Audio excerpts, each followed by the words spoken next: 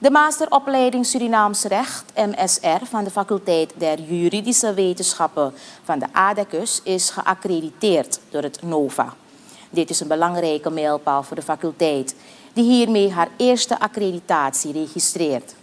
De MSR is gestart in 2010 en heeft tot nu toe 277 afgestudeerden afgeleverd aan de samenleving.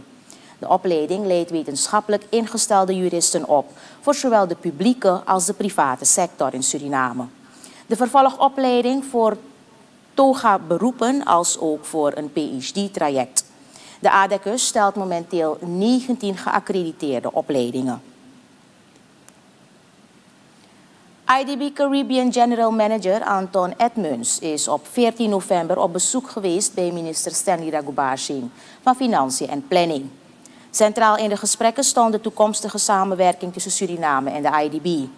Afgesproken is de focus te leggen op projecten met betrekking tot fiscaal beleid, onderwijs, infrastructuur, agrarisch, volksgezondheid, sociaal, milieu en cultuur. Het bedrag dat voor deze sectoren in de komende vijf jaar beschikbaar wordt gesteld is ongeveer 340 miljoen US dollar.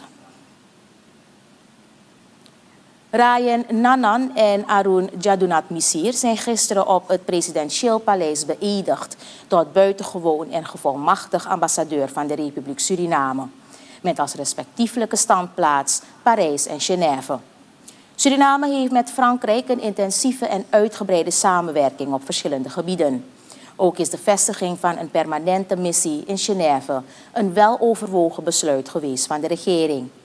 De ambassadeurs hebben tot taak de diplomatieke banden van beide landen verder uit te diepen en te verstevigen.